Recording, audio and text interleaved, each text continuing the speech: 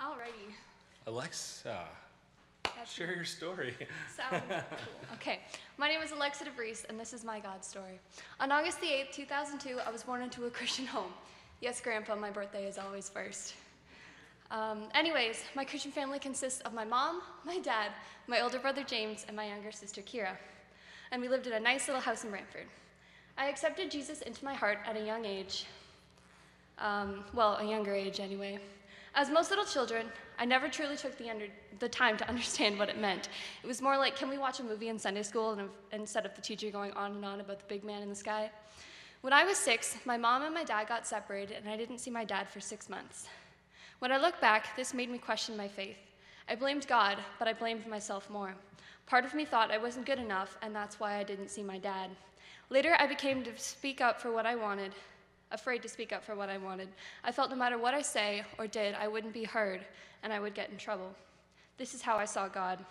My parents had gotten separated because of me, was often my train of thought. Finally, when I was seven, my parents got back together, but it already made an irreversible impact on my life. My family of five needed a new start, so after attending Woodside for a few months, um, we moved to Elmira when I was in fourth grade. Um, I never felt like I fit in here. I had one friend who at school would hang out with her other friends, and I was afraid to talk to them. Time passed, and in grade seven, I made new friends. Uh, one in particular made a huge role in my life. She taught me that I shouldn't try to fit in with everyone. I should be myself, be authentic.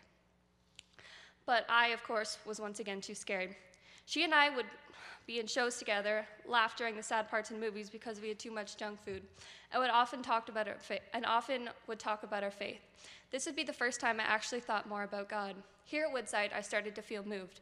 I wanted to be changed and no, to no longer be afraid, but I was too afraid to make the change, so I continued hiding in my little shell, afraid to let anyone in. This continued to high school. Grade 9 was the most difficult year of my life. I had pushed all my emotions down for so long that they were starting to catch up to me. I started lashing out at others and felt empty inside. My friends were rapidly leaving, and I sought to control the ones I had left. I wanted to have complete control over everything around me. I was mad at myself, I was mad at others, but mostly I was mad at God. Um, oh boy. Uh, I blamed him for everything. I remember the day clearly when things started to change. Things were slowly changing. But one day, when I had so many things to do and not nearly enough time to do it, I started to panic. Suddenly, in the middle of that moment, I was immediately calm. I felt the presence of God come and tell me that everything was going to be okay. I went to the back of my Bible and looked at verses on fear and came across Deuteronomy 31, verse 6, which reads Be strong and courageous. Do not be afraid or terrified because of them. For the Lord your God goes with you. He will never leave you nor forsake you. My name is Alexa deVries, and this is my God story. God has blessed me in a crazy way. I am not perfect, nor will I ever be. I'm a proud daughter, sister, and cousin. I can be glad, I can be carefree, I can be sad, and I can be fearful.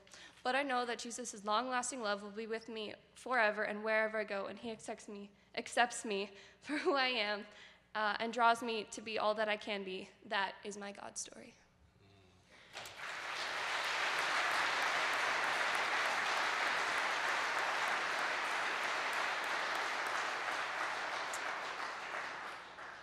I'm going to invite uh, Alexa's dad up to come and share a verse and, and pray for her.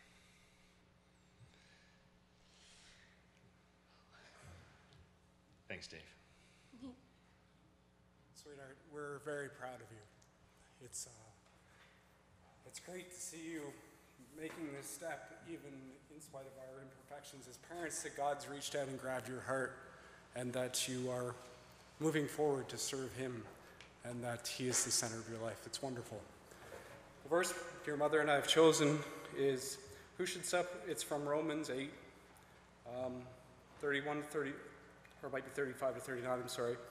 Who should separate us from the love of Christ? Shall trouble or hardship or persecution or famine, or nakedness or danger or sword? As it is written, for your sake we face death all day long. We consider it as sheep to be slaughtered. No, in all of these things we are more than conquerors through him who loved us. For I am convinced that neither death nor life, nor angels nor demons, nor the present nor the future, nor any powers, nor height, nor depth, nor anything else in creation will be able to separate us from the love of God that is in Christ Jesus. Let's pray. Father God, you are a great God. You have blessed our lives. You have blessed Alexa's life, and we have seen great change in her life in the last year and a half as you, as you have worked in her heart Dear God, we thank you for Alexa. We're proud of her.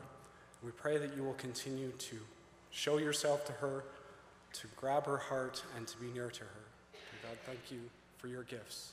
For Jesus' sake, amen. Amen. Thank you so much. You. You ready? More or less. Let's do this. Cross. Awesome. Alexa, on the confession of your faith, I baptize you in the name of the Father, the Son, and the Holy Spirit.